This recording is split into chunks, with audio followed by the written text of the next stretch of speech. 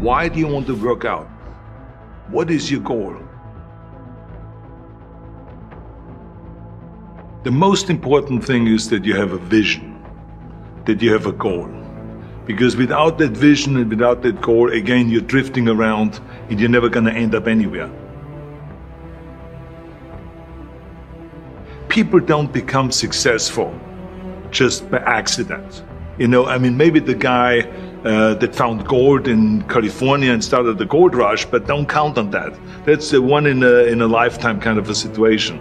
So you got to really have a specific goal. And to me, to have that vision that I want to be Mr. Universe, that I want to be the greatest bodybuilder of all time that was a great vision and that specifically to look like Reg Park and to be up there on that stage and to lift the trophy overhead and to win the championship over and over and over again. So that was a great goal. You have to have a goal. Now it doesn't have to be that specific goal, but it has to have some goal. This is why I always recommend to people sit down, take your time, and start thinking about why do you want to work out?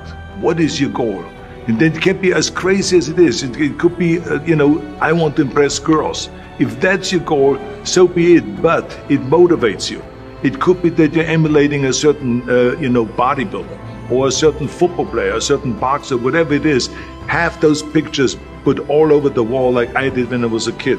I put pictures of Reg Park and of Sonny Liston, of uh, boxers and of Ali and of powerlifters and weightlifters all over my bedroom, uh, you know, uh, wall so that every day when I go to sleep, every day when I wake up, I look at those pictures and they motivate me. You need that motivation, and then therefore you have this kind of imprint in front of you all the time, and you know exactly what you're chasing. People always come up to me and says, why are you smiling? You're working out five hours a day. You're doing the same as the other guys, but the other guys have a sour face. They're pissed off that they have to do another rep or another set or something. I looked forward to. I looked forward to another thousand set, uh, uh reps of, of sit-ups. I looked forward to another 500 pounds of, of, of uh, leg press or squat. I looked forward to doing more and more curls until my arms fall off. Why? Because I knew that every rep that I did and every set that I did and more weights that I lifted, I get one step closer to turning that vision into reality. So I was turned on by that. I was excited. I couldn't wait to get to the gym.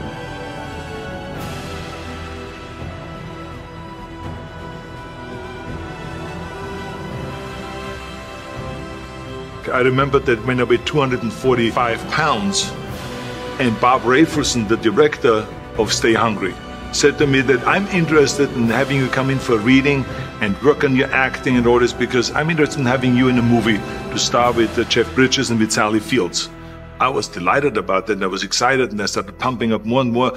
And then he said, but I don't want you to weigh more than 210 pounds. You want me to be in a movie, but I'm weighing 245 to 46. I say, I just won the Olympia. I say in 19, which was 1974. And I was really at my biggest. And, uh, but he demanded that. And he says, look, it's very simple. On the day we start shooting, he says, I'm going to put you on a scale. And if you don't make the 210, you're out. Because I have someone else in mind. And I worked on it. I started visualizing myself very clearly as a lean athlete because that's the only way I could lose that weight and all of a sudden get interested in running more. Because up until that point, I ran like three miles after training or before training or whatever. But now all of a sudden it was five miles, six miles, seven miles, eight miles. And they even ran mini marathons in order to lose the weight. And I did everything with high reps. And I was watching my diet, what I eat, and all those kind of things. And but the day, the day before, I remember we went Birmingham, Alabama. The day before I was at the YMCA with Bob Rafelson he was swimming and I was working out and I was running. There was a track there and I was running. He says, let's step on the scale. And I stepped on the scale and I weighed 209. So it just shows you what is possible if you visualize exactly what you want to look like.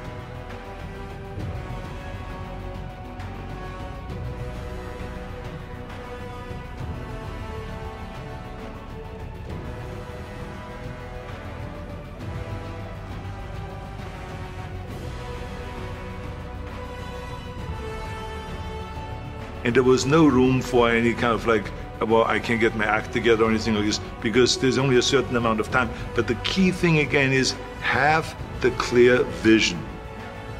Have the specific goal of what you want to accomplish because then you never go to the gym and you say, the day I feel down a little bit, I don't know what it is all about, I don't know my life, I'm confused. No. I tell you that I was a perfect example of someone that was not confident at all.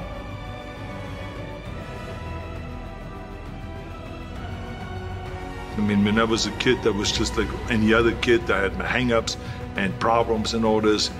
But when I joined the weightlifting club and I won my first little trophy because I did the best clean and jerk. And then we went to another meet and I won another little trophy. I started feeling like somebody.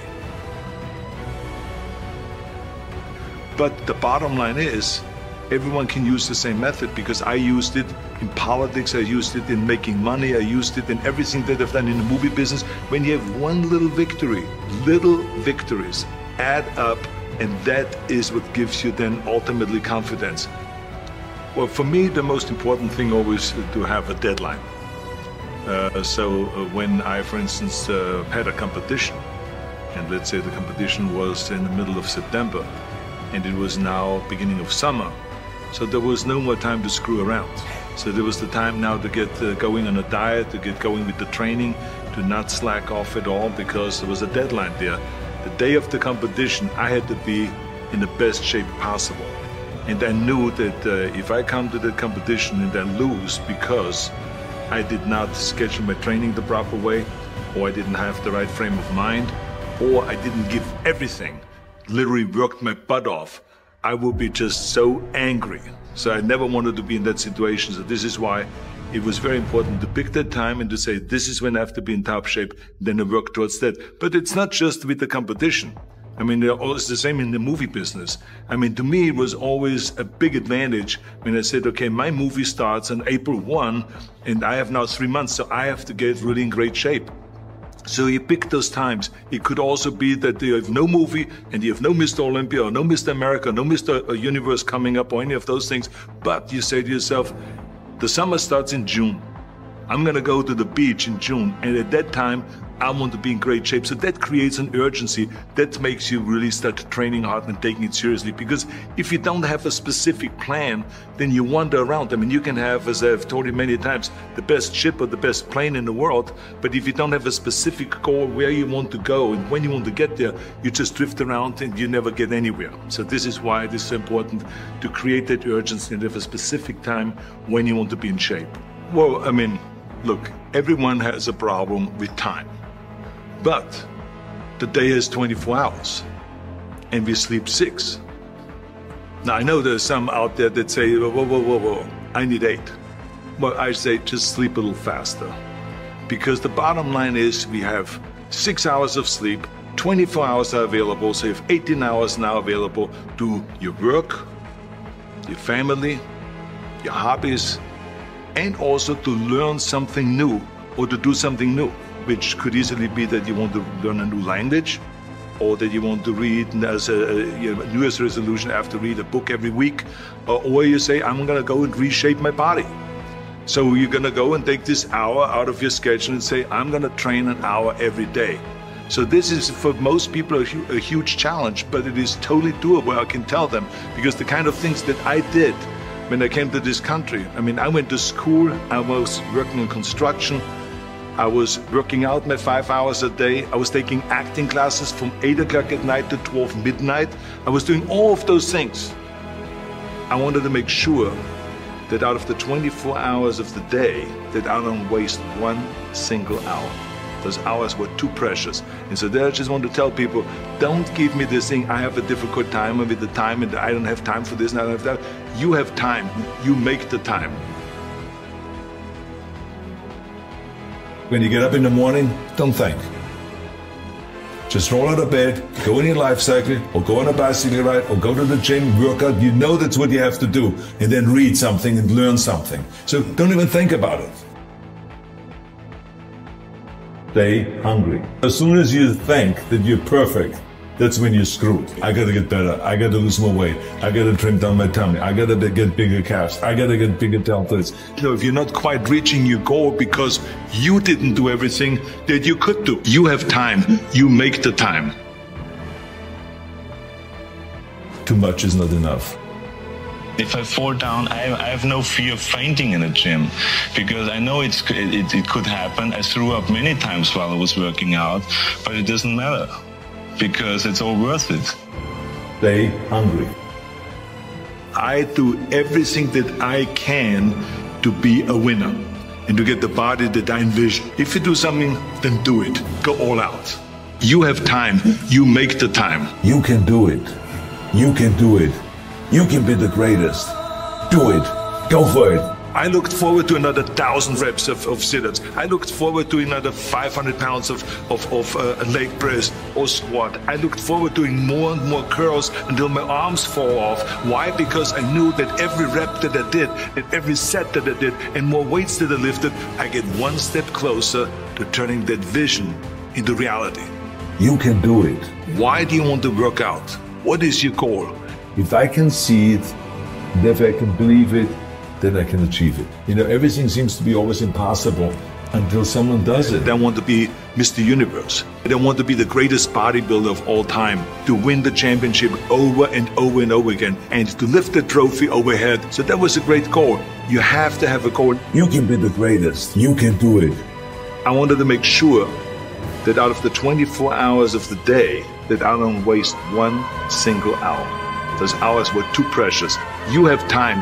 You make the time. Stay hungry. Little victories add up, and that is what gives you then ultimately confidence. You can be the greatest. Stay hungry. We all fail. The key thing is, is to keep in mind what is your goal and keep looking at that as you get up and dust yourself off. Work your butt off.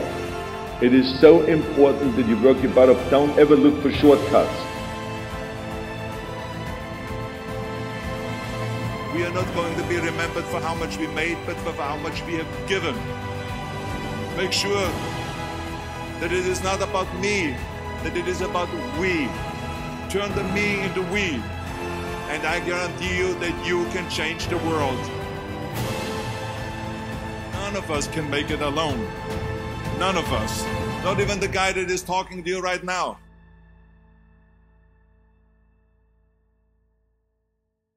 I know I wouldn't be here without my parents creating me, nurturing me.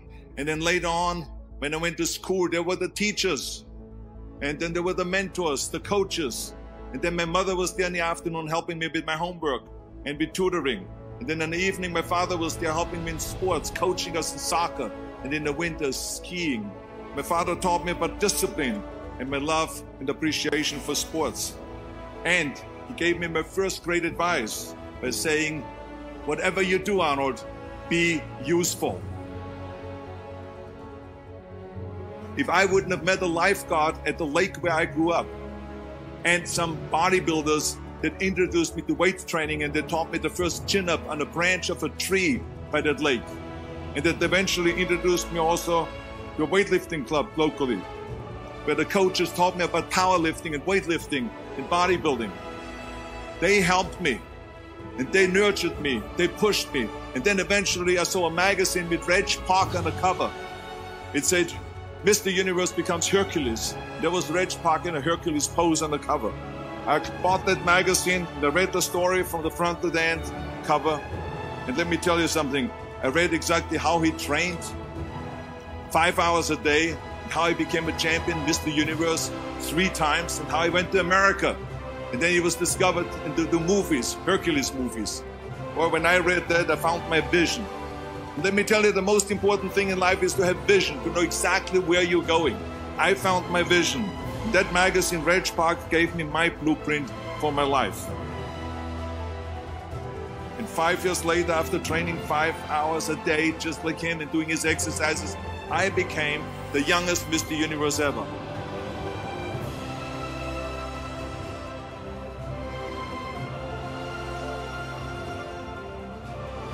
The reason why I want you to understand that is, is because as soon as you understand that you are here because of a lot of help, then you also understand that now is time to help others. That's what this is all about. You got to help others. Don't just think about yourself. Help others.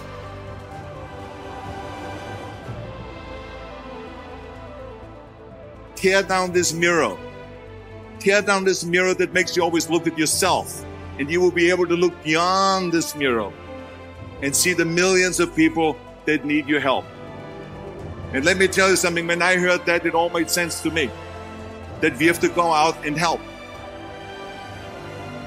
Because I decided not to listen to the naysayers, and because I decided to work as hard as I did in bodybuilding,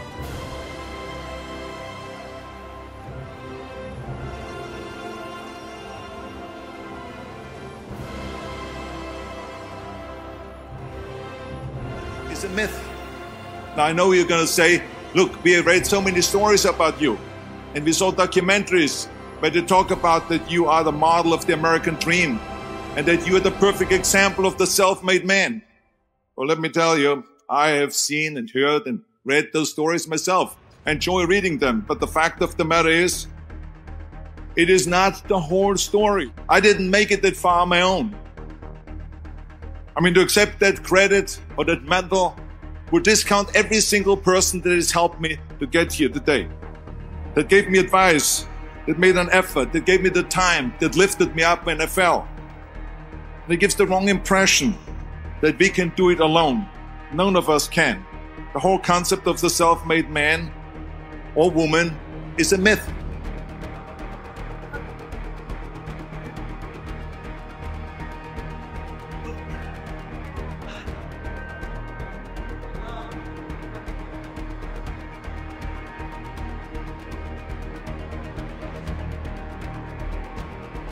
Never ever think small. If you're going to accomplish anything, you have to think big.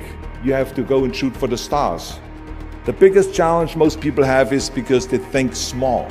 And the reason why people think small and why they choose small little goals is because they're afraid to fail. They know that if you shoot for a big goal, then the chances of failing are very high. And they're afraid of failing is one of the most common things why people are frozen and why they can't make a move in life because they're scared of failing. I say to myself, hey, I'm not worried about failing because that's part of life. You're not going to go and win everything. And how far can you fall? Look at this. This is the ground. That's as far as I can fall. And you know something? That the only time you really consider the failure is if you fall and you don't get up. But if you get up, you never considered a failure. So I never considered myself a failure. I always considered myself a winner, even though I fell every so often. But I always got up and I always moved forward. This is the important thing. I never had any patience, of course, for thinking small. If you do something, then go all out and do it well. And this was not just the case in bodybuilding. I didn't just want to be a bodybuilding champion, I wanted to be the greatest bodybuilder of all times. I wanted to have the most muscle, the, the most muscle of all times, the most definition. I wanted to win the most trophies, the most world championship titles. I just wanted to be the best. And the same is also in movies. I didn't just think about being in movies. No, I wanted to be a movie star. I wanted to have above the title billing. I wanted to become the highest paid entertainer. I basically wanted to be another John Wayne. What's wrong with that?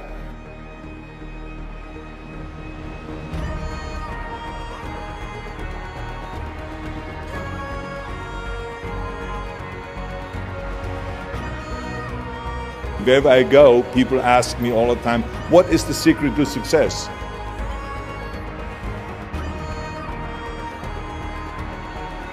I think I can give you the long version here.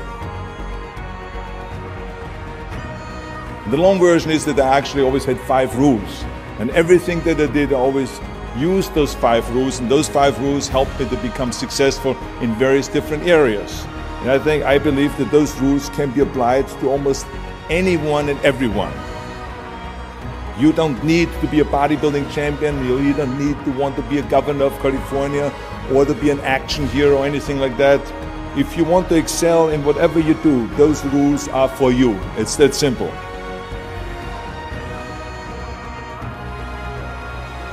I think that we all here like to be successful and we are driven So that's why those rules apply to you.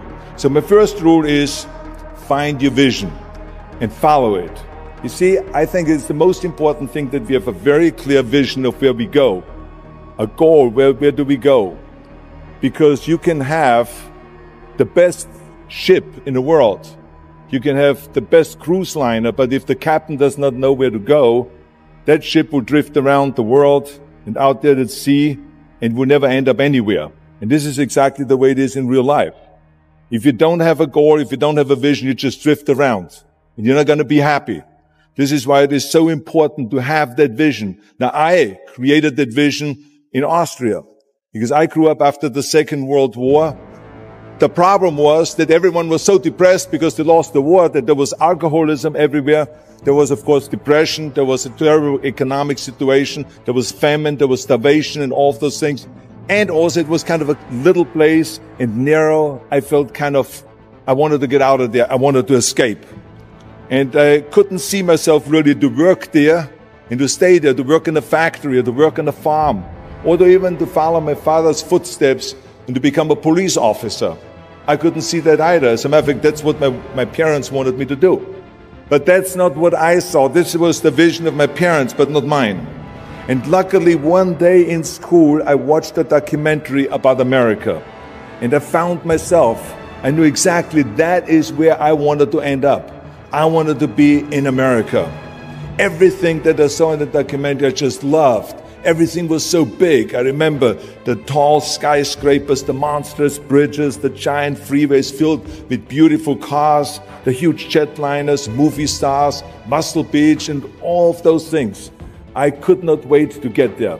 The question was just, how do I get there? How do I get to America?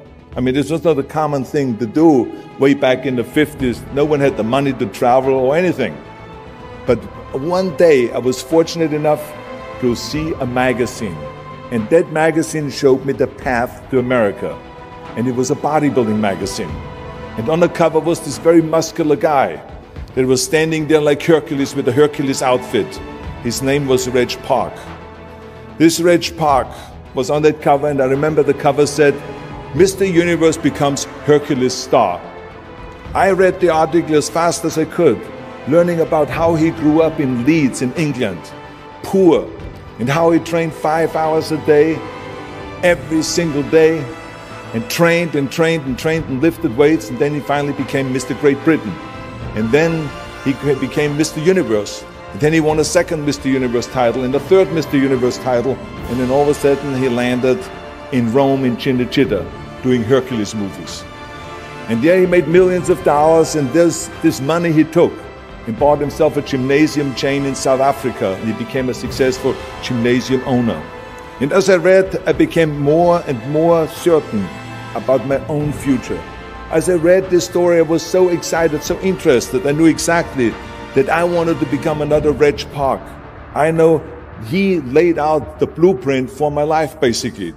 I could see myself, I could visualize myself clearly to be a champion on that same stage where he won the Mr. Universe, and then to move to America, then get into movies, and then become rich and famous. I had that vision very clearly laid out. I was so happy that I knew exactly where I was going. From that moment on, everything that I did, no matter how hard I had to work, or how much I had to struggle, it didn't matter. It was a wonderful joyride because I knew what the purpose was and I found my passion. The simple truth is, if you don't have a vision, if you don't have a goal, if you don't see your future laid out in front of you, you're just floating around without a purpose. And I think that the numbers speak for themselves. This is why so many people around the world are unhappy with their jobs.